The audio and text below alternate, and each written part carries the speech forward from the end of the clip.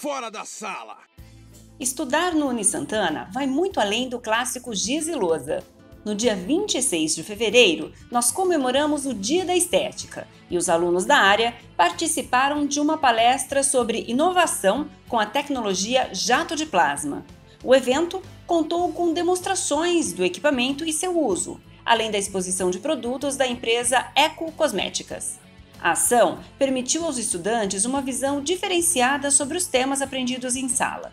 E você, se interessou? Existem várias atividades como essa planejadas para todas as áreas da instituição. Você também pode dar sugestões para os seus professores e coordenadores de curso. É o Uni Santana, mais perto de você.